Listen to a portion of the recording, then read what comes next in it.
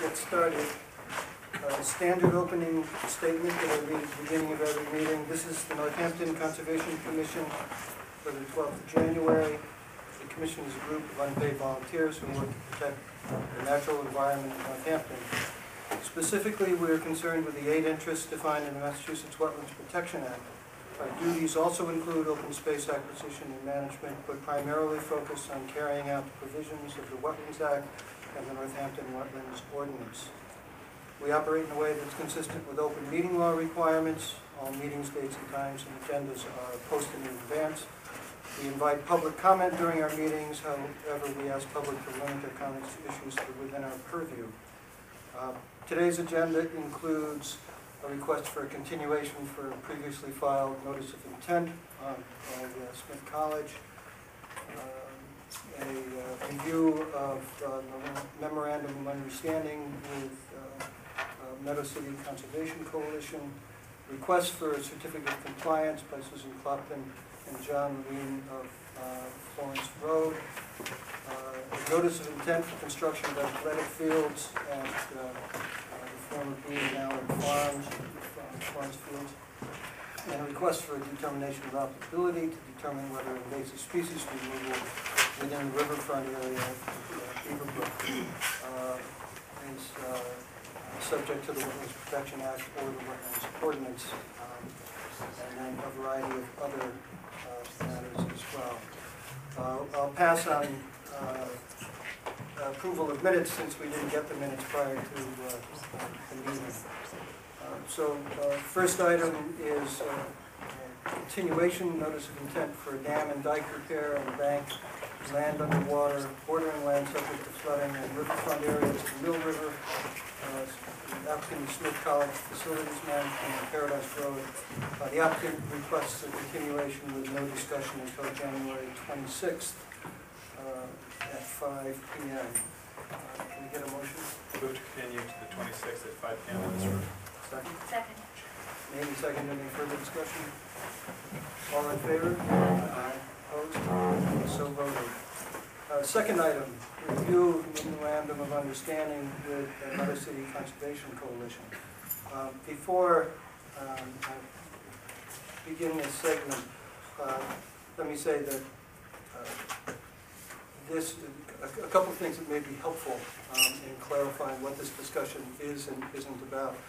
Um, It's pretty normal that the uh, city, when it has responsibility for uh, public lands, for agriculture or open space, um, will partner with uh, citizens groups um, who volunteer to take over some of the city's responsibilities.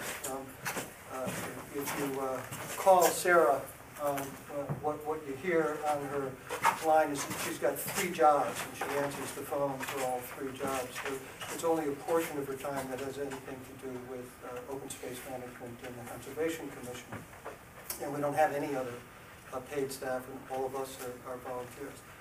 Um, So uh, we rely on citizens um, to participate um, in that way.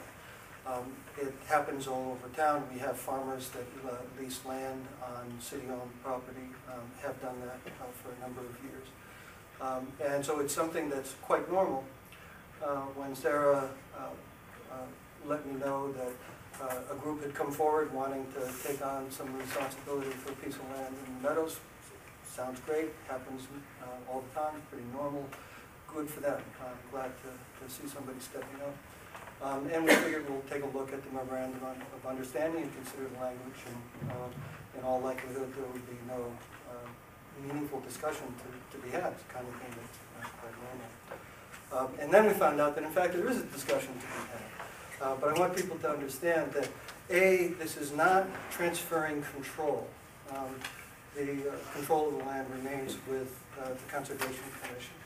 Um, It's uh, a a fairly narrow um, definition of what another group would have responsibility for, uh, in the same way that we've uh, granted a lease to a farmer, and the farmer has to do certain things within certain constraints.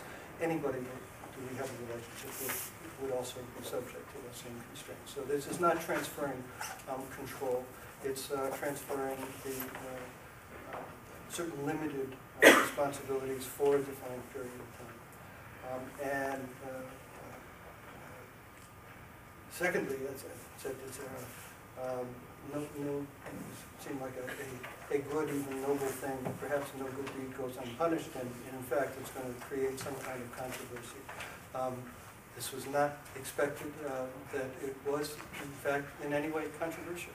Um, So uh, with that as an opening to kind of clarify what uh, the discussion is about, um, uh, we'll open for public comment. Um, uh, We'll try, we- we- we've allotted a half an hour, because we have other, we're primarily, uh, primarily a permitting body. We we grant or or deny uh, permits um, for uh, a variety of activities in and near resource areas as defined by the Wetlands Protection Act and the City Wetlands Ordinance. And that's our primary responsibility, and we have some of that work that we have to get to. So we- we've defined a half an hour um, for this the meeting, and and we hope that uh, that'd be enough. Um, Wayne? Can you say some background at some point before Sure. we start? comments? I, I was gonna ask actually, Okay. if you could. Um, Um, So I just want to go over a few things, sort of how we got here and- and what the city's policy has been. A- And I'll go through this very quickly, but just going, going back to 1987, there was a neighborhood group um, that was formed to fight a project at Cook's Pasture. Um, That group became Broad Brook Coalition, and we're used to, we've always had sort of individual projects people oppose and and fight the project. Broad Brook said, we want to be different from other neighborhood groups who just fight a project. Instead of just being opposed to things, we want to be in favor of it. And so they had sort of a set of goals, and, and one of their things is they came to the Conservation Commission in 1988 um, and said, we want to be a management partner for Fitzgerald Lake. Conscom would still control the property, just, just as Kevin was saying, but we'd be doing a lot of the day-to-day maintenance, a lot of the day work. And so Conscom signed a memorandum agreement with Broad Brook Coalition, and that became sort of the new gold standard. We're always looking for partners ever since. So since then, Broad Brook's still the most formal one, but we have agreements with Leeds Civic Association for Roberts uh, Hill and for a couple of smaller conservation areas, for Friends of Sawmill Hills, Friends of Mineral Hills. Um, and so that's sort of been, uh, uh, so that- that's been a consistent goal for you guys going forward. So that's sort of the first point. We've always, that's always been the preference. For example, we acquired the property from the Blymans on Potash Road two years ago. The first thing is to look for a management partner for it. We initially had discussions with Grow Food Northampton. We'd hoped they'd be a management partner. They became overwhelmed because suddenly this other project came forward. Um, and so they sort of weren't really able to do it. But, and then we ended up signing a license with a farmer. But the preference was to do it with a nonprofit. Um, so that's the first point. The second point is there are two mechanisms by which we work with somebody else. Um, when we're working with a nonprofit group or a neighborhood group, we do this memorandum of agreement. And in essence, we're working with them. It's not a legally binding contract. You can end it anytime you want, but it says, this is great, we love the fact you're doing free work for us. Um, and that's absolutely our goal, and neighborhood empowerment is a major piece of that, to, to let the, the decisions not, the decisions be as local as possible. When we work with a private farmer, it's a different process. We sign a license. It's a non-exclusive agreement. By law, it's a maximum of three years unless we go to city council. Um, and so usually it's a maximum of three years.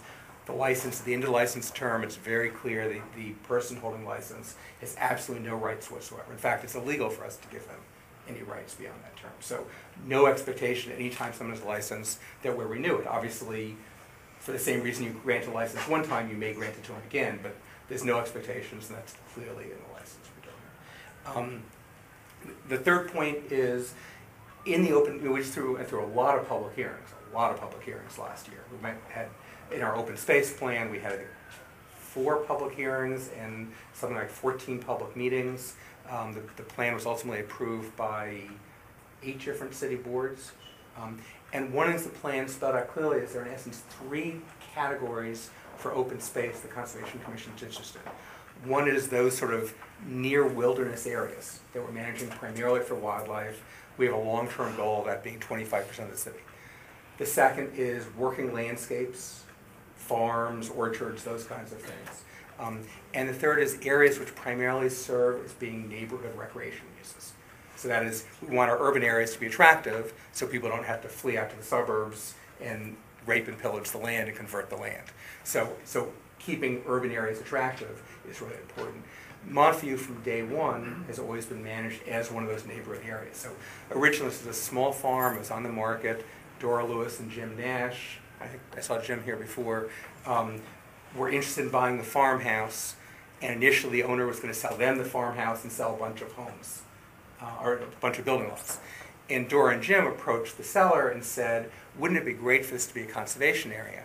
And in essence, between a combination of them probably paying a little more for the land because they're surrounded by open space, some tax benefits, and a relatively simple deal, the, the land was purchased by the city, but from that first day, it was purchased to serve neighborhood goals. So in fact, if you look at the city council resolution, which Sarah pulled out, it talks about the goals of the property, um, and it says, well, maybe we're gonna put a, um, a, community gardens on the site. Um, But then we went to the neighborhood afterwards, because this was primarily about serving neighborhood use, and they very much didn't want community gardens. And so the whole discussion with the neighbor at the time was, how much land we're gonna allow, let fallow, so everything on the left side of the property, which was farmland, we allowed to be fallow, so it would become wetlands, and we want to restore it. Um, Some of the land is gonna be farmed, um, and some of the land is gonna become a soccer field. So all those decisions were made with the neighborhood. They, we uh, originally did the work with the federal grants, and the neighborhood did the fundraising to match the federal grants in the city. So the reason for all the background is, this is not a wilderness conservation area, it's not a working landscape. It's primarily about neighborhood use. To the extent farming meets the neighborhood, that's great, but we do optimize, you know, it's very different than the farmland we have at Elwell, which is optimized for farm purposes. This is optimized for neighborhood purposes and farming is second. And so that comes back to this, you know, seven years ago, when we first signed a license, there was no neighborhood group involved. In fact, the goal originally was to put a conservation restriction on the property, and we couldn't find a neighborhood group who'd take it. So we ended up not being able to put a CR on the property. When this new organization was formed, it suddenly became a new opportunity, and so that's why we've gone down this route. Thank you. Any questions by the commissioners for Wayne? Um, I'd like to invite members of the public uh, to make comments. Uh, Can we first get a, a- a sense of uh, how many people want to speak? So we have some sense about how much time we should allocate.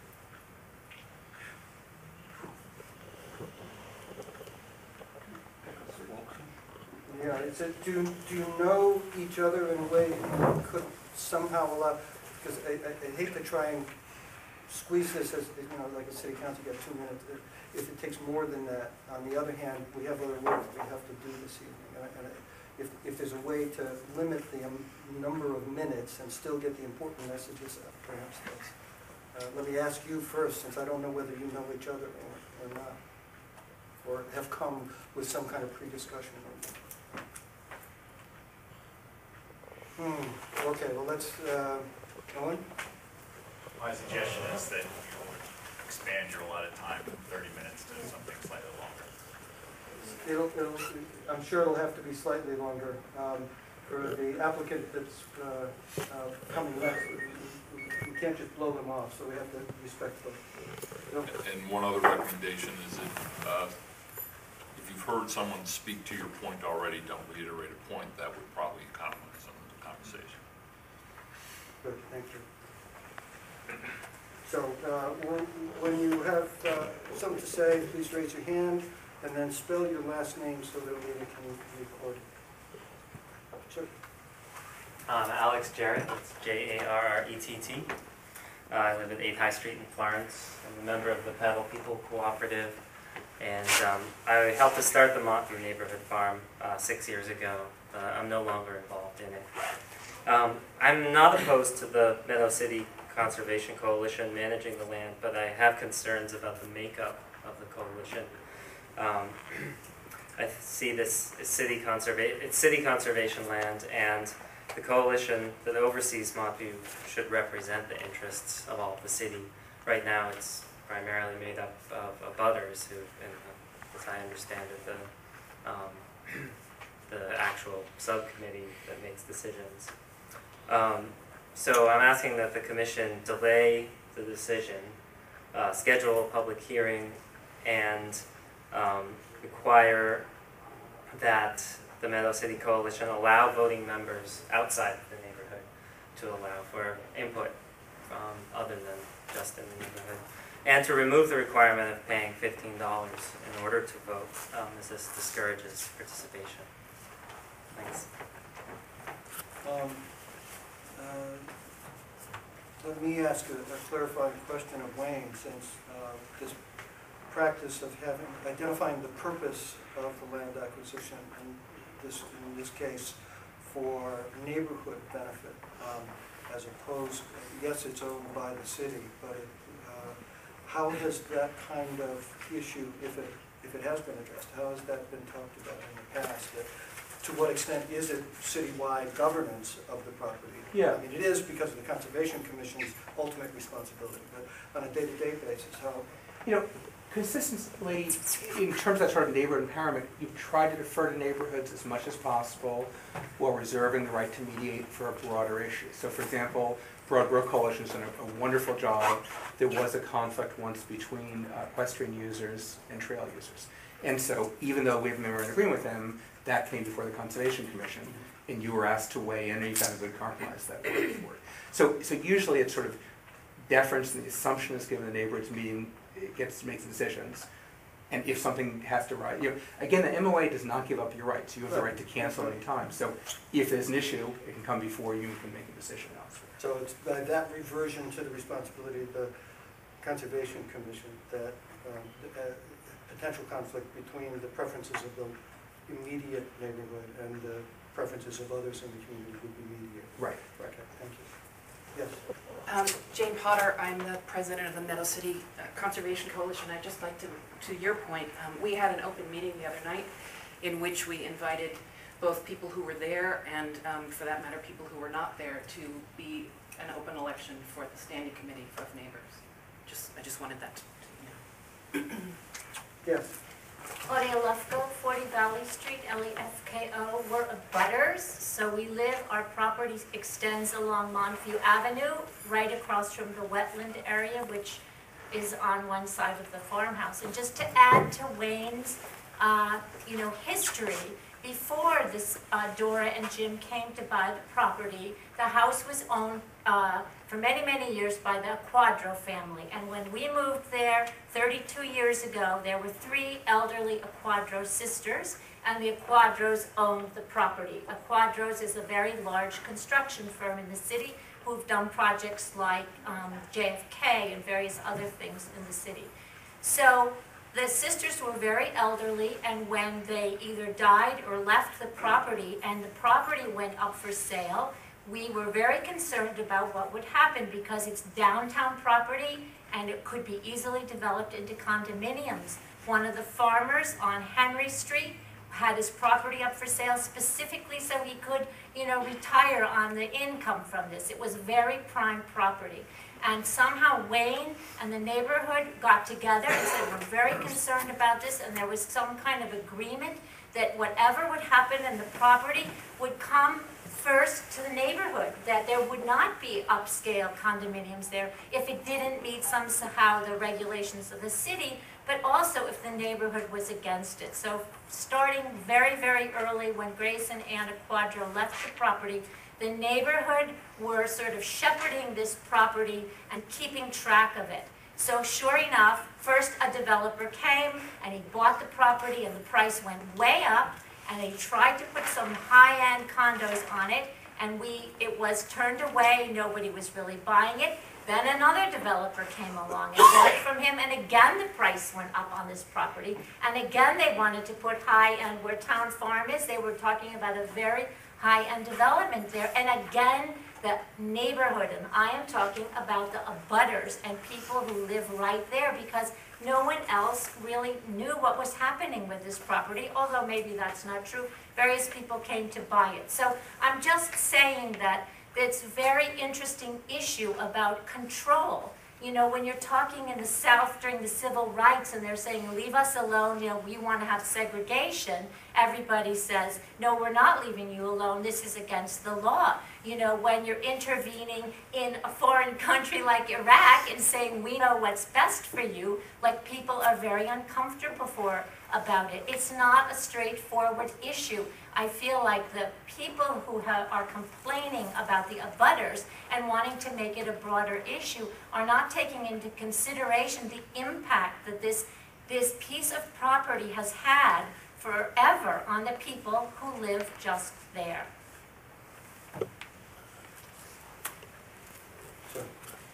Sir, Um, my name is Ben Kalish, that's K-A-L-I-S-H.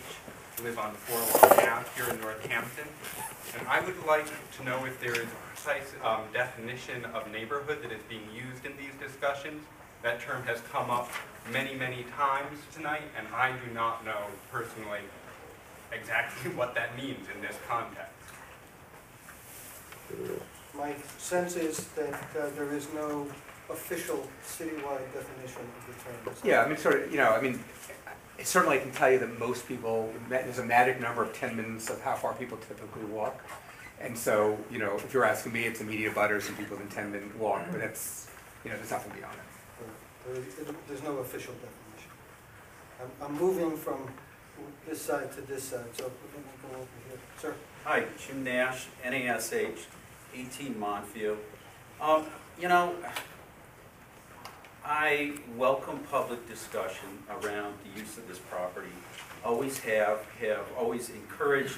Uh, When Montview first uh, uh, came to the neighborhood, uh, uh, proposed a, uh, the formation of a board that included neighbors, included farmers and shareholders that, um, that I'm really disturbed by the level of politicizing that has occurred around this lovely piece of property. And the, and the, the changing of the, um, the, the tenor that both the neighbors and the farmers have gotten along until, you know, the snow has come. That, um, currently, the Montview Neighborhood Farms, their, their shed sits on the corner of my property because they are not allowed to have it on the, the conservation property. They've stored tools in my shed, they've used my water. I've worked with them on projects, I've mowed the field relentlessly. um, That, and that here we are, and the tension in the room is, is, it's actually, it's very sad.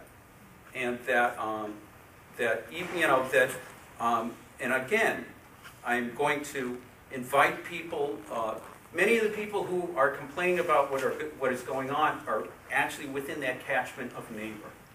Um, uh, Lisa, one of the, the, I don't see her here tonight, um, one of the, uh, uh, main, one of the three main partners, uh, is within eyeshot of the field. Uh, her, uh, the other, Molly, who was another, key constituent, um, used to live in the neighborhood as well. I, I, I'm going to continue to do this, and I'm going to invite the people who are neighbors to please come into the discussion with us. Um, We are open, I'm open to having, you know, the- I think there's a distinction between leaser and neighbor, and, and from my perspective, the two are getting mixed up. That, that there's a leasing con- contingent in the room that's getting mixed up with, um, how do we, how do we make the decision process? I don't think the decision should go to leasers. I think it, it, it- and I think, you know, it's worked well by having the, the neighborhood being the primary focus of that decision process. I think it needs to be good for the entire city, but I, I would really like to see the, the energy change around this. Thank you. Sir?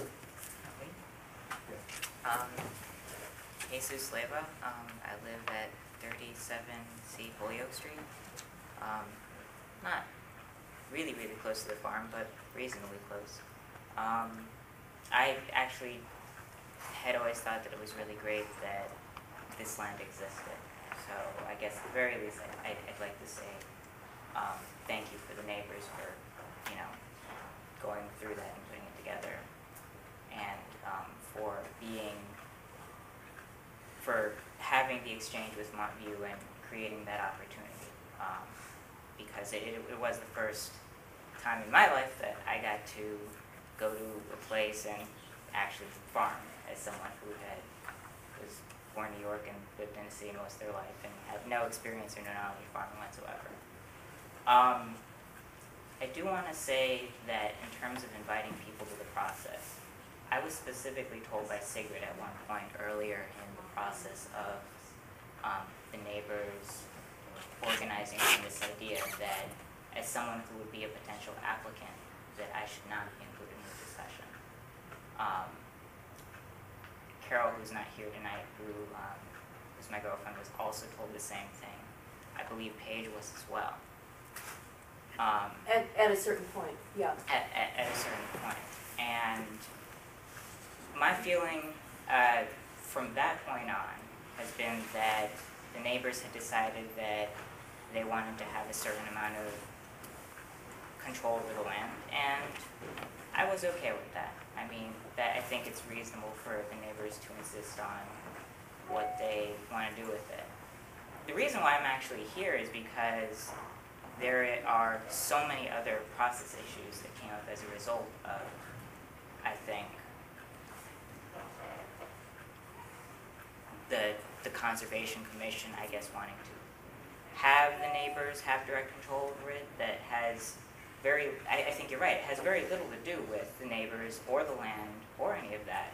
And I think that, I think that that needs to be resolved, but I also want to say that the history of this land, at least the very, the most recent six-year history of the land, is unique when compared to the other lands that you've been talking about. And I think that until the matter is really resolved and people have had time to discuss this and really talk about this and understand it, that the city should continue to steward the land. The, the city should continue to maintain, uh, to manage the land. And if the land is going to be managed by a different group, that there should absolutely be a public hearing about it.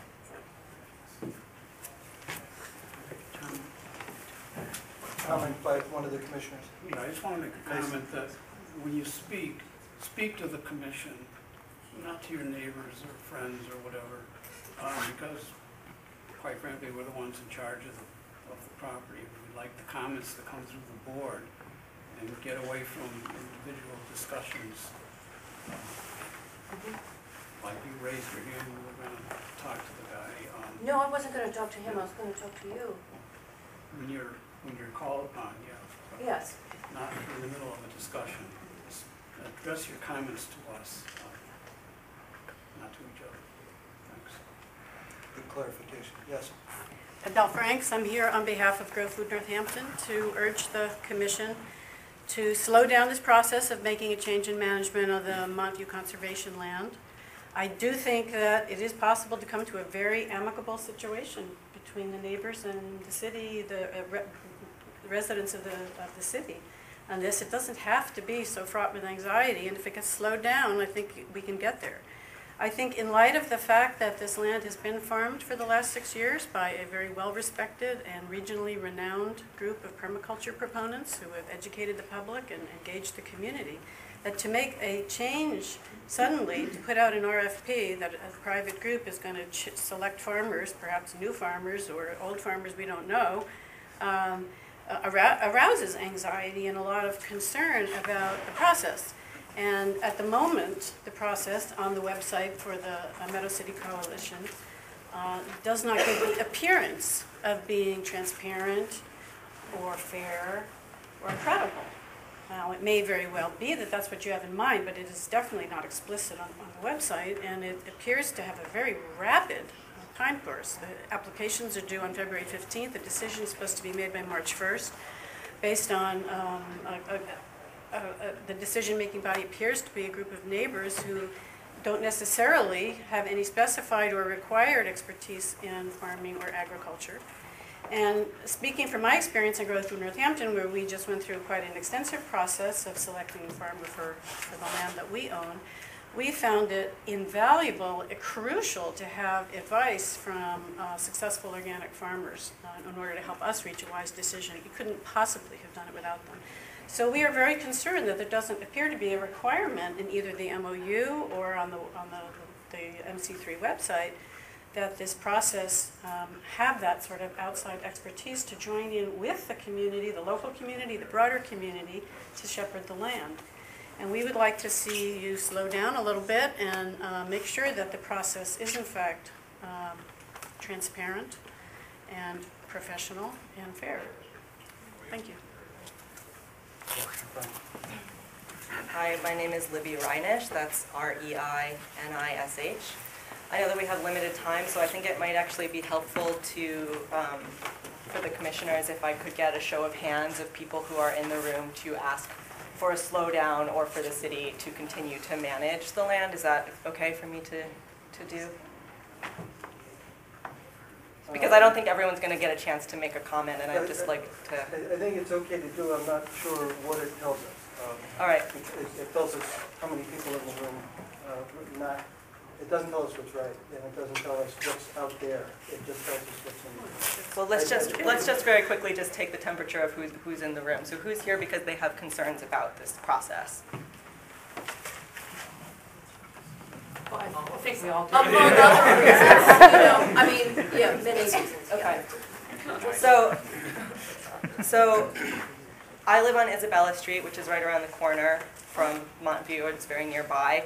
Um, and I'm here to ask the Conservation Commission to continue to manage the land without uh, going through an MOU with a third party. And also, if the commission does wish to sign an MOU with a third party, I ask that you hold a public hearing before you do so, and that you solicit multiple proposals from organizations that might be interested in such an agreement. Um, The Montview Conservation Area is really unique in the city of Northampton. There are few, if any, parcels of city-owned land being put to so many uses in such an urban setting, and with so much community involvement. I think, you know, you have mentioned that in your introduction, Wayne. The small-scale farming project and permaculture-based food forests and the educational workshops have developed the community at large's interest in the land and has also provided a place for people who don't have access to farmland to grow and harvest food. To my knowledge, this is the only place in the city where volunteers are farming collaboratively on public land. And this land has been, become truly special, and if property stu- properly stewarded, I believe it can continue to nourish the community both nutritionally and educationally into the future. And I believe that these unique uses of the land make it different from other public land that's being managed by private entities. And as such, I believe the city's informal policy of forming these public-private partnerships must be reexamined in the, in the case of Montview. Um, most of the concerns I've heard stem from the need for neighborhood input over the use of the land. And I feel that there must be neighborhood input, of course, but I think there's a difference between input and oversight. And this MOU gives M3C too much oversight over public land, even though the city will continue to own the land, and even though it will continue to have final decision-making power. If neighborhood input is a concern, I suggest that the city write requirements into the license to farm, mandating that the farmer form a publicly elected community advisory board, and have in place a written grievance, policy. Uh, in an email sent to the Grow Food Northampton listserv last night, Wayne Feiden wrote, quote, "The MOA approach is part of the Conservation Commission's two-decade-old approach of signing MOA designed to empower neighborhoods." I don't believe that we have properly defined either neighborhood or empowerment in this case. Is the neighborhood composed of abutters? Is it people living in a small geographic area designated by M3C? Is it Ward 3? Uh, As a self-identified neighbor, I would not feel empowered but disenfranchised by the decision to transfer this power to a private entity who are not elected or appointed by the community. Uh, And what does the city's MOA approach empower neighborhoods to do exactly? Ultimately, this is public land and everyone who lives in Northampton should be empowered to have a say. Unfortunately, the M3C subcommittee does not represent the entire neighborhood. I, I value all of the work that the neighborhood has put into the land over the years, but, you know, the, the face of the neighborhood is changing, you know. Right now, you know, this group does not represent the, the neighborhood well, I don't feel, um, let alone the community. And the MOA and M3C's current policies are not sufficient to guarantee proper representation of the neighborhood or the community at large. In fact, M3C's policies appear to do somewhat the opposite because they do have geographic restrictions on who can participate and they have due, requirement for dues. Um, I also think it's notable that there are no protections in the MOA or the current version of the RFP for the fruit trees and perennial plantings on the land.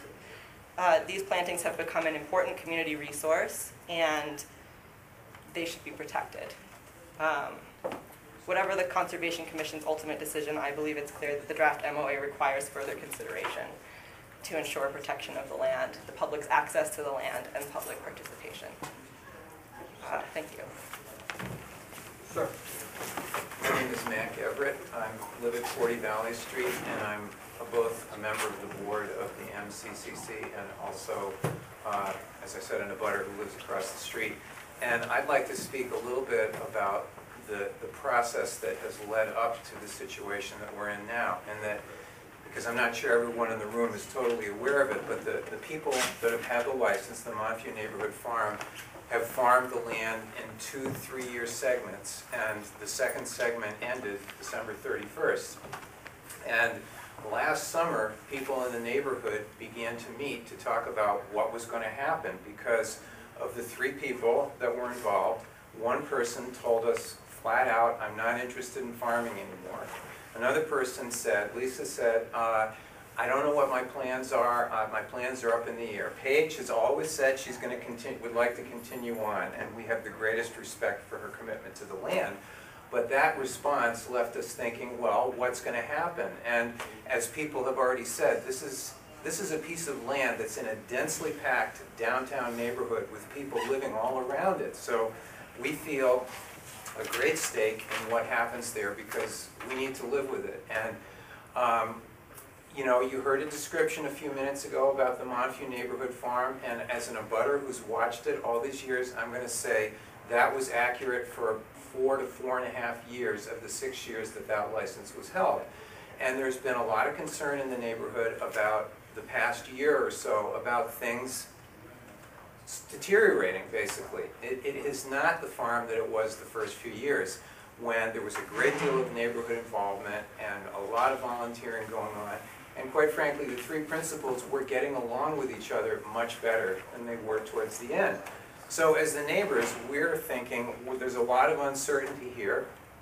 The process is going to come to a head when the, because the, the lease is up, so what would we like to see here? Well, we would like to see a fair and open process where any farmer or farmers who would like to present a proposal to use this land can do so, and that we, as neighbors and abutters, can have, uh, we, we've, well, the city has invited us to help create an RFP that would reflect the kinds of things that we would like to see there. We're very grateful that the city has encouraged that, um, and that we would like to see that process go forward. And the people who apparently there may have, I- I'm not aware of it, but there may have been a change in heart by the folks that have had the past license. Perhaps they want to reapply, great, they have the right to reapply along with other people. We would just hope that the process would be open so that other people who have other plans that might or might not be better suited to the land would have an opportunity to do that. My other thing I wanted to say is as a, as a board member of MC3, oh, oh, the other, the last piece about that, about what I just said was I feel like we had several very public meetings. We made an effort to bring in as many people that we could find that were possibly interested in the future of the land. We created a large email list so that we could have, um, you know, inform people as to the conversation and keep as many people involved as possible. So I feel like a lot of effort was made to be open and transparent about the process. It's true that we as abutters have a special interest, and that's been true ever since the get-go. Um, because as I said, we live there and we are especially uh, aware of the changes in the condition of the land. Um, as an MC3 board member, I feel like, uh, again, I'm appreciative to the city that we have been asked to, to play a role I, the city is, is land rich and resource poor. We, we know that it's very hard for the city to be able to do everything that needs to be done to, to um, oversee the, what is it, 20% of our land now is in conservation. So we, we have appreciated the approach that the city has taken in terms of trying to, to work with other citizen groups to steward different pieces of land around the city. We, as MC, MC3 started last year, we're an organization of, right now, 39 members. Um, We have done a lot of outreach, we've organized several community educational events to try to get the message out there that we're interested in starting this new organization in Ward 3. And again, I feel like, you know, some of, we've been characterized as kind of the evil empire a little bit here, and I, I just don't think that's appropriate. I think we've tried really hard to be inclusive. And uh, I, I would hope that some of the folks here that are uh, expressing objections to the process would come. We would love to have them be involved. Thank you. Anybody else? This gentleman back. Uh, Peter Blanchett, um, uh, I just want to speak to the commission about um, the process of uh, some of the problems that occurred during the, um, I don't- I don't have actual count of how many meetings we had, but I know from looking at my calendar, we had at least 11 two-hour-plus meetings, which I don't know if that's a lot or a little, but that's what we had. I've never done anything like this. To me, it seemed like a lot of time.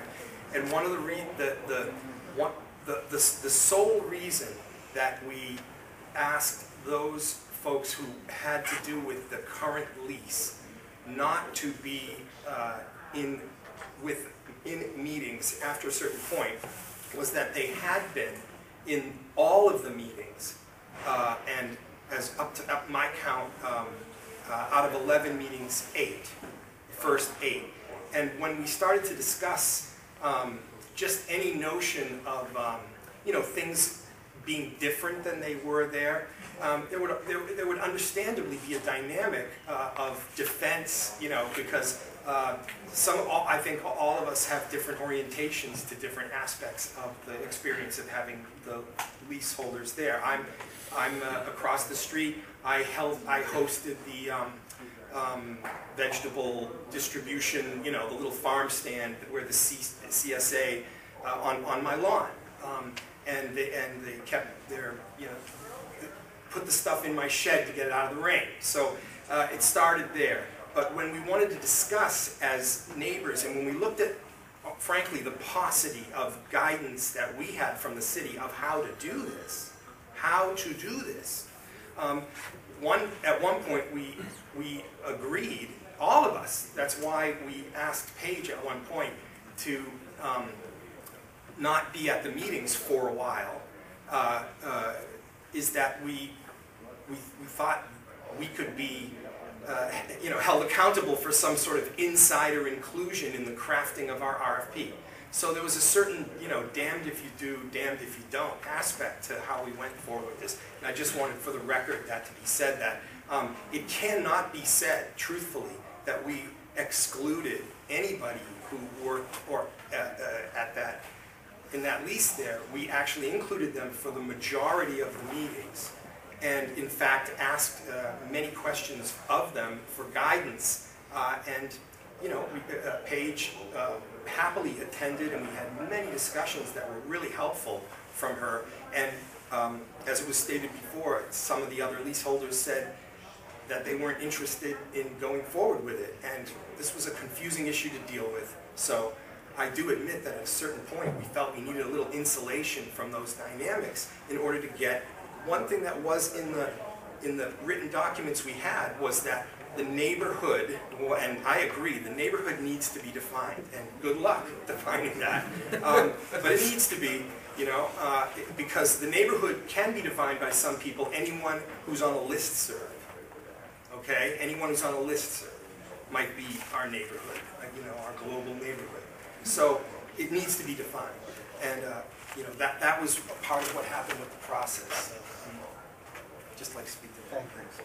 Yes. Um, I'm Paige Bridgens, B-R-I-D-G-E-N-S.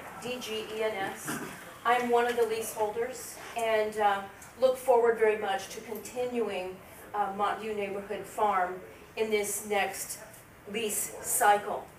Um, First off, I want to thank the city for working with Jim and Dora for making this land into conservation land. And I want to thank the neighbors for that amazing relationship that we had for so long. And I know I shouldn't look at them because I'm, I'm really addressing you, but I hope they're listening. Because for five and a half years, we had just a splendid relationship. And I want to reiterate the generosity that um, Jim mentioned. We have a shed. You know, it, it, for the first bunch of years, we kept our tools under a tarp. And then we approached Jim and Dora. They said, yes, you can build a shed and put it right on the corner. And I want to acknowledge that, yes, we had our farm stand in the blazing sun on Montview Avenue. And Maddie and Peter said, come on over to this side, come right under our shade tree. It was beautiful. It was a beautiful relationship. And I don't want the future to be defined by some conflict. And I still, I haven't put my finger completely on what the conflict is. Conflict that has taken place in a short period of that lease. I would like for us to figure out together what that conflict is and to work on it. We had a good thing going, and, and I'm not ready to give up on this neighborhood. And so, on to the issue of um, my being asked to leave the steering committee. The steering committee led up to the creation of MCCC. Um, I felt fine about that. Um, I felt a little weird about it because I thought, wow, we've had such great meetings. And um, my experience was pretty different from Peter's in that um, I don't remember being defensive. I'm, I remember getting really excited about new models because we were trying to figure out how to proceed. And Dora at one meeting said, well, what about a co-op? How about we morph the farm into a co-op? And there was excitement all around and we invited Alex to come and talk with us about how a co-op works. And we looked at different models. I was very interested in looking at different models. Believe me, I was interested because I wanted to continue into the future. What else do I want to say? Um, I want to continue the lease. Yes, we have um, done a lot of perennial plantings. I understand that there's an RFP process.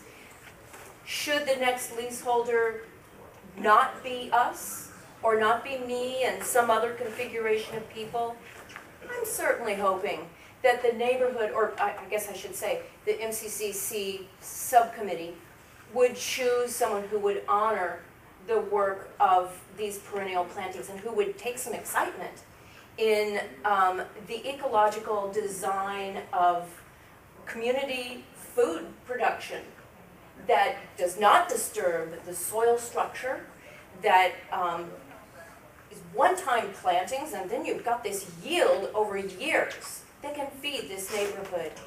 Another thing I want to, another historic point I want to make, um, I believe it was Peter, mentioned that things began to fall apart, or Mac. Um, Town Farm came to town, and we helped with the neighborhood to bring them. We met with those developers and said, you've got a lawsuit coming your way if you try to develop three condos and a two-acre lawn on that property. And really pushed to get that to remain agricultural. We said, if, in, if instead you take on this couple, this farming couple who live right here in the neighborhood, we will fully, fully support you. Well, that and the fact that Town Farm had assets really made it possible for Town Farm to come. So during their first year of CSA, we had our little farm stand over under Maddie and Peter's honey locust tree, and people would drive by on their way to Town Farm to get their shares, and, and you know, it placed the neighborhood in a loyalty bind. I mean, they were going to be getting more vegetables and, I don't know, probably a better deal at Town Farm, and yet some people just said, nope, we're sticking with you. You are with us. And we just had a, we had a good relationship. But it became untenable for us to continue under those circumstances. It was a lot of work um, to provide the produce. Meanwhile, Town Farm had sheds going up and goats and and sheep at that time, and um, it was pretty hard to compete. So we needed to morph into a different model. We had to kind of figure out what was next. So we morphed into a model of, of, of a mosaic of, of um, micro eco enterprises.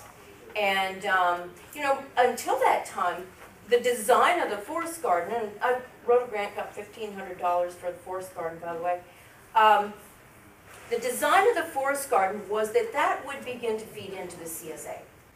You know, just as those Asian pears would come on, those currants, all that produce, that would just get folded right into the CSA shares. Then the CSA folded. And um, so I thought, well, let's see what else is out there. You know, maybe as the produce comes on, neighbors could buy shares. Maybe what's left over, cereals would take. So I went to talk to Gary over at cereals. He said, sure. ask you to try and wrap up so we Okay. can get any last comments. One last thing I really need to say. So I was asked to uh, not be on the steering committee. I said, fine. Um, Most recently, uh, Monday night, um, another person who is submitting a proposal um, was voted to be on the subcommittee of MCCC and to be um, in a position to help draft the RFP that he'll be applying for. Thank you for listening. Any last comments that address something that hasn't already been said? Yes. Very brief. My name is Marcy Clark, C-L-A-R-K, at uh, 84 William Street, and I just want to express our concern, both as the steering committee, I was, have been a member of the steering committee, which was the grassroots informal ad hoc community committee. I am now a board member of the MCCC, and I'm also a part of the standing committee, the, the subcommittee. And our concern is just, I, I see that there are a couple of different questions being posed and requests. One is uh, challenging the MOU altogether, one is challenging the timing of the MOU, and, and I would just submit that we are very concerned about and sensitive to timing for um, potential farmers. Two last comments. Gentleman in front? Great. Uh, my name is Eli Roberts, R-O-B-E-R-T-S. Um, and uh, I want to read a quick excerpt from um, Lisa DiPiano, one of the current license holders. Um, the, the second half of, of a message she, she sends is, um, we're really fortunate to live in a community that is rich in local agriculture, but more and more it's important for people to not just be able to buy local food, but learn the skills necessary to produce their own food in sustainable ways, and that's what Montview focuses on. We support local farmers having access to land. We think that's really important. And we think that more and more, it's important for people to have the skills necessary to produce food. We also think it's important for neighbors to have a say in this process. We want their voices to be heard, but it's also important to have other voices at the table, because this is a community asset that is important to many stakeholders. This is an important decision. We urge the Conservation Commission to create an inclusive process in which diverse stakeholders can be heard. Um, so that's from Lisa. And, and for myself, um, I just want to quickly say that, that I, I just moved to Northampton last week as part of this um, Sustainable Agriculture Fellowship. Um, so, so I have funding to work for a year with Montview Neighborhood Farm. Um, and I was attracted there because of, of their use of agroecological principles, um, their forest garden and annual vegetables and education program. Um, and I also have copies of, of letters of, of support for Montview's educational work and kind of demonstration work um, from John Gerber, a professor at UMass Amherst, and from uh, Ben Grosscup at the Northeast Organic Farming Association. Um, so to me, it sounds like the situation you were describing where, where um, while neighbors have legitimate concerns and, and their concerns should be prioritized, there are also more stakeholders in the decision about the land. Bill, comment? Uh, Bill Dwight and, um, uh, city councilor at large. I've gotta get used to saying that. Uh, and also in the interest of full disclosure, uh, Jim Nash and Dora Lewis are my in-laws, just so. Um, and, and so consequently, I'm actually familiar with some of the history, the backstory as well. But actually, the problem that you're facing right now, as far as city problems go, is a damn good one to have.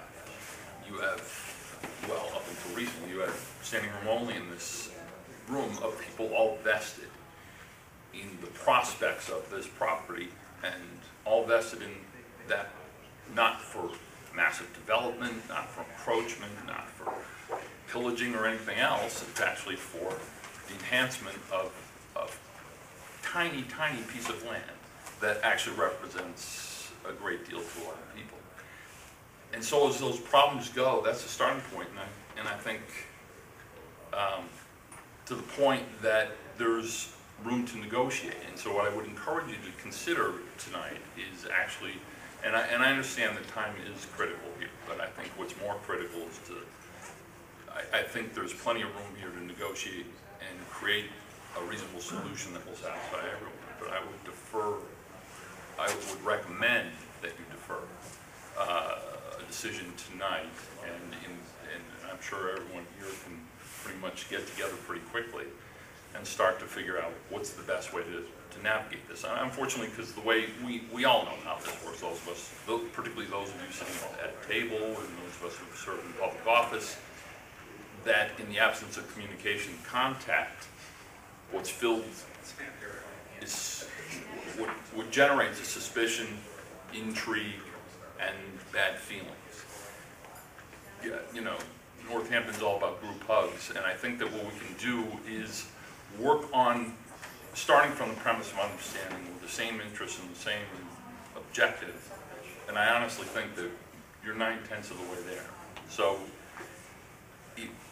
I think that whole process gets scuttled by the fact that if the MOU is, is decided on tonight, so, thank you. So, uh, councilors, what are your thoughts, what are our options? I agree, I think we ought to defer and uh, have a meeting with all parties.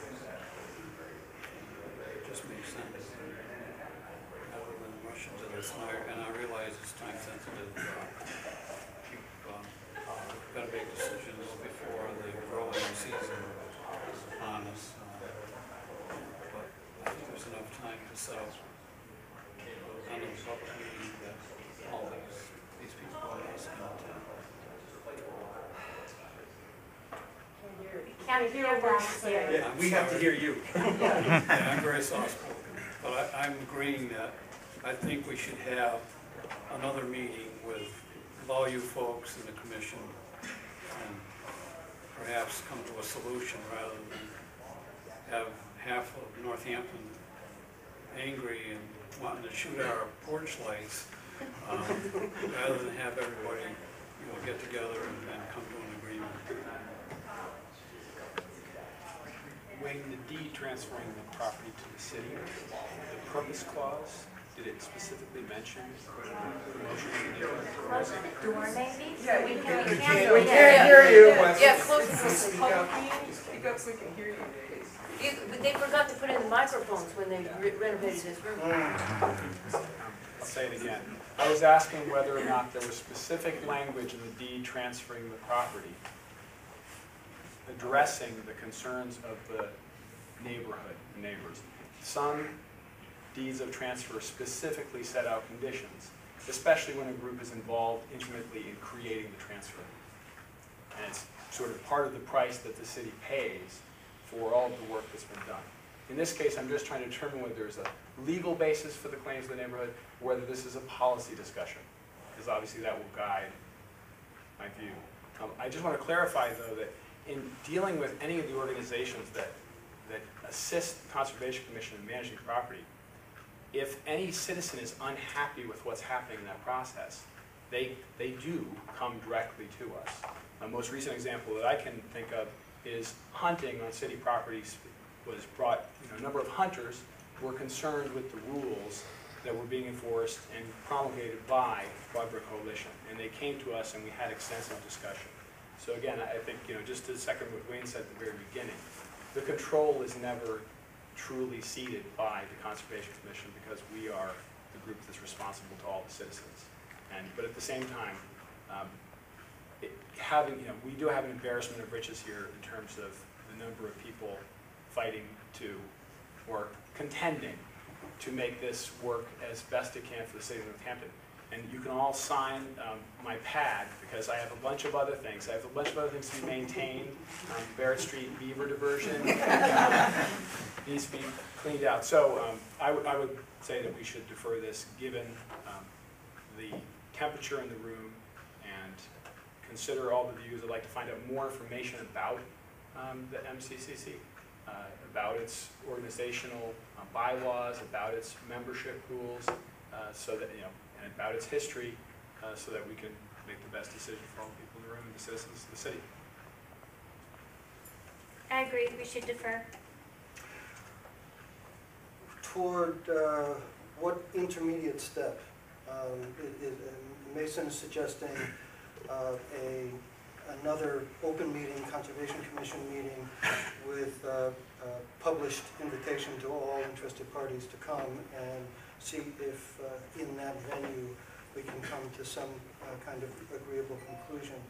Um, the- There, there could be other uh, options, proposing that uh, those in the community, in the neighborhood, take that initiative uh, so that it's not required to be uh, a a conservation commission scheduling, uh, which, which will add some constraints. Uh, How many of us do we have to have a quorum, et cetera, et cetera. Can I follow up on that? Because I was trying to say this before, probably not very well, but there's really two totally different paths you take. So uh, the MOA route, the MOU route, you know, with a, with a nonprofit, um, not required to be a nonprofit, but it's always been our preference when we can do it. Um, Friends of Sawmill Hills hasn't incorporated, so it's not, you've always done that route. Um, and there, in essence, what you're doing is giving them the day-to-day responsibility for maintaining the property. And so then you can, you can negotiate that, and you could have them work with farmers and others to come back with a proposal. I- If you end up licensing this to a private farmer, then in some ways you're much more constrained. We have to figure out, this is one of the headaches we'd rather not do, exactly what's the financial value for that. And we can't charge less than the financial value for doing it. So we're more constrained if we do that. Now, we've been creative in the license, but it worries me we've been a little bit too creative about saying they're gonna give that value in donated labor. Um, And that's the arrangement with Elwell, is it? No, this, this has been the arrangement here. Uh, We had a great time with Wayne and uh, Bruce. We cleaned up a parcel of land that was later sold to the Fish and Wildlife. Many tires and pesticide tanks removed from the woods. Yeah, yeah. It was really fun. Yeah, it certainly wasn't a lack of being willing to the work, I the worked money on those that's. uh, beaver deceivers. You did, with you. that Was was it with you and uh, Paul or? Yes, it was staff, two commissioners, and one member of the public. That's right. There I was. So, so there's more flexibility for an MOA than there's a license. Generally, though, even for a license, you have enormous flexibility, the value is below twenty-five thousand dollars. And it's pretty clear the value is below twenty-five thousand dollars. Can I just ask a clarifying question about that? Just something that I, I've been wondering about since you said this. Um, if Montview Neighborhood Farm, for example, which has been the license holder, but the license is signed by three individuals, if Montview Neighborhood Farm were incorporated as a nonprofit, would that process change and would you advocate for an MOU as opposed to a license to farm with that group? You know, would they be kind of, become the kind of organization that you would maybe do an MOU with? The, the, being incorporated as a nonprofit certainly makes it a lot easier. I think it's still that, that neighborhood empowerment piece. So if it would, if they were just farming and ultimately getting some of value for farming, it doesn't make a difference. If the structure is different and it's somehow including the neighborhood, however defined, then I think that's the difference. There's not an agricultural restriction on this land, so. That's correct. it- it- it- it- it- It's not uh, constrained to only be used for agriculture. Yes, I understand. The, the one thing we can't do, I, I keep carefully using the word license as opposed to lease. We can't do an exclusive arrangement, so you can't do a lease where the farmer can prohibit the public, that you can't do. You can't do anything over that three-year period, I guess we counsel you to five years. So, you know, you all could say you'd love to have trees and you'd love to allow someone to do it, but you can't give, you can't guarantee that the trees are gonna remain in the future. So it's sort of taking some risk to. So if the sense of the commission is that indeed we do not act tonight, but defer this, then the question is what's the uh, most uh, useful and expedient uh, basis on which to, uh, to proceed? We- we, uh, It seems that, I I- um, similar to uh, what Councilor Dwight pointed out, that um, the, my, my sense was that it was, was pretty uh, invigorating to have a, a large group of people that um, are active enough and caring enough to actually show up um, after work in an evening. Um, we often toil to empty walls in this room, um, and it's nice to have uh, uh, occasion to have people say, hey, this is important enough that we care about this. Um, I also think that um, Northampton is, uh, and uh, been here for going on 40 years, and- and that it- that it's a kind of uh, place that is, um, people expect to have a- a voice um, and to be taken seriously. Um, What I think we want to be a little careful of, that that sort of sometimes implies to us, if we don't feel like we've had enough voice, that somebody else in a back room has figured something out. I think what's clear from this discussion today is, no, no, well-intentioned people have been doing their level best to try and make um, uh, good-hearted, responsible, well-intentioned decisions. And sometimes, you know, it's not so clear to everybody that in fact that's what's going on, and so you're a little suspicious. But I, I- think this is a very Northampton kind of um, experience that we're in, in the middle of right here. And that- that's a good thing. Um, that, that, that's what's kept me and my family here. Um, so, uh, I, I guess the question is, if we're gonna, um, uh, have more to, more information, a, a proposal, usually what we do is not make decisions, we entertain proposals and consider options and then render a judgment. So I, I'm trying to figure out how can we get collectively, um, people to come with, to us with proposals. And hopefully a a consensual proposal so that we're not picking winners. Um, We're um, uh, evaluating the merits of, uh, of of some options. Kevin, do you mean proposals for farming, or do you mean proposals for how to No, proceed? for, For- it's, it's, it's oh, proposal okay, for, model. for structure, because Yeah. it, that's the, the, the, the- the issue. I mean, as, as Wayne says, the, the, the ground rules that this, um, is both city-owned and, um, uh, prioritized for neighborhood benefit. Those, those are givens. That, that's what we have to, to work with. Um, There is no official definition of neighborhood, there's no official definition of how to balance citywide and local, um, either abutter or, or larger uh, neighborhood priorities. So we have to make some judgment. Um, And Can I have we usually are in the information position. about the RFP? Have we talked about, because we, what will happen to the RF, maybe people will like the RFP that's been developed. Well, that, that, it it is quite possible that um, those who have been working um, as uh, part of the the, uh, uh, coalition, um, and those who have not yet been part, if they got in the same room, would say, hell, yeah, actually, this is a process that can work pretty well to address everybody's concerns. I don't know that. Um, It seems like there's some steps that haven't happened yet. I'm just wanting to make sure that we don't have our requirements for open meeting law postings, uh, uh, schedule to get a quorum of Conservation Commission members together, slow your process down so that it can only happen on, a you know, we meet twice a month. Um, And it, I'm, I'm trying to make sure we don't um, put obstacles in the way of this progressing. Bill? To that end, I may have stepped in it, but, um, given the fact that I think the a negotiation probably take, pla- uh, be more effective in a neutral forum, um, I'm, well, I'm reluctant, but I'm offering myself up as, as uh, a mediator, and could, we could convene a group of all the, all the stakeholders, or hopeful stakeholders, But who And- would that be, Bill? Excuse me? Who would that be? That we're would all- be the, every, I'm you, confused I would, about I, the neighborhood. well, I would say Who's the Claudia, neighborhood? and actually, in keeping with the, the formalities of the, of the thing, which we, you and I should talk about that outside and inside, as opposed to inside, but I think, well, I, I'm making this up as I go along, so I don't really have, I haven't come up with a plan, but I think that the, uh, you know, there are clearly a lot of people here interested, and there may be more people interested to come, or So- less, who knows So after. presumably that would be, would involve some kind of public invitation.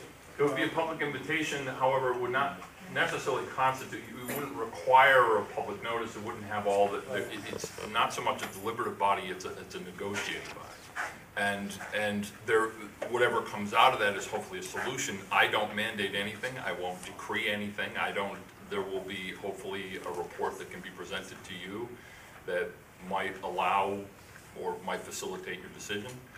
Um, It may be a abject failure, but the fact is is that, that, you know, I mean, this is supposedly what we signed on to do when we, when we asked people to vote for us, so. Well, and the other elected officials. Thanks. We'll- we'll- My name's Owen Freeman Daniels, Woodmont Road, I'm the Ward Three counselor. Um, Most people in this room are my constituents, and uh, I want to say that I do think that there's been a lot of work that the neighbors, that is, the people who came to the meeting, I was one of them, the, the nearly dozen meetings have put in.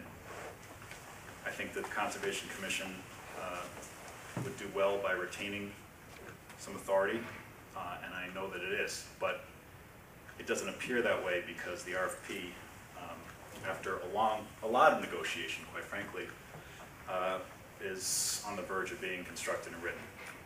If I might offer a suggestion, it would be that the Conservation Commission retains the right to approve, or at least to review, the RFP before it's submitted, or before it's circulated, rather. Again, uh, I don't want to uh, negate or to take away from the countless hours that the neighbors, and when I say neighbors, I mean the people who came to the meetings. Sometimes they were from all over the ward or all over the city, sometimes they were just the ones around the corner. They did a lot of work on this. And um, maybe the MC3 is the perfect solution, maybe it's not, but the RFP, I think, is really something that uh, um, they've worked on, and I think that the Conservation Commission can allay a lot of fears and anxiety by reviewing it. I also think that that will add a layer of public review, which uh, may be salubrious to this process. Um, Perhaps that's a, um, an option then, um, because I, I, uh, we haven't seen the, uh, the RFP. Um, It is, uh, seems that the, the devil is indeed in the details, that people's concerns really derive from um, not only a, a a process, but a result, what, what's actually likely to happen, and what are the defining parameters of, of the request that's going to steer toward uh, that outcome.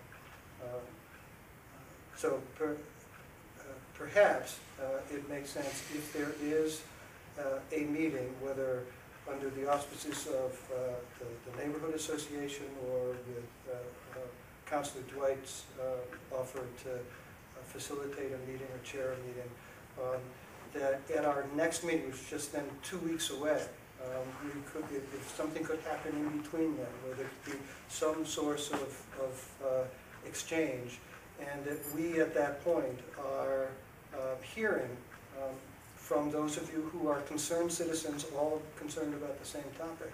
Um, In either that there is a single recommendation or a couple of options, and that would include our opportunity to, uh, having heard all of this, I think we now have uh, more information with which to consider um, whether a specific RF RFP um, is indeed, quote unquote, in the interests of uh, not only the narrow uh, uh, technical areas that we have responsibility for, in terms of wetlands access and so forth, um, but also what we understand, since we have management responsibility for this property on behalf of the city, uh, based on what we've heard from you as members of the community, does the RFP seem like it steers toward that kind of desired outcome? Um, So my sense is, uh, to propose, and see if my colleagues on the commission agree, um, that we encourage you to, in some way, get together, uh, whether it's a neighborhood association or Councilor Dwight uh, calling the meeting, um, and uh, uh, discuss whatever you need to at that point, so that two weeks from now, um, you can come back, just I'm out of state, so I won't be here in two weeks, but a- quorum will be here in two weeks, um, uh, to hear um, whether there's a single recommendation, um, whether in fact there, there may be more than one option to be uh, considered by the uh, commission, and at that time, that the commission, or in between now, could also have reviewed the RFP, uh, which might be modified as a result of your process. uh, uh, But uh, uh, could review the RFP to see if it looks like it's in alignment with the concerns that we now are aware of. Um, that should affect our thinking about the management of the property. Does that sound like reasonable? Uh, my contact information, I, I'll give you, I actually, it's easier to go to the Northampton City website, and my email's there, my phone number's there as well, so you don't have to try and memorize it by Can sight. we have comments about the proposal before we settle on it, or not? No, at this point, we've heard the input from the, uh, the, the community. Except that the Members. complaint was that there wasn't enough publicity, and so somehow I think the alternative would be to give it to you, post it, put it in the paper, so That- nobody if- can if- say to us, that we didn't outreach. If that is part of the, the, the uh, process, and certainly we've got to see the RFP at some point. Um, And we've got to hear from, um, uh, this is a a concerned group of citizens, and we're trying to hear from the concerned group of citizens. Is there That's a why it proposal should that rest can be? with you. It ultimately does. Um, We're, uh, up until a day or so ago, we were blithely going along thinking we were doing the right thing by doing what we usually do. Um, Now that we have heard the disparate input, um, we're hopeful to come to, uh, use that input to come to a conclusion. We could just say, we'll, we'll pick a winner.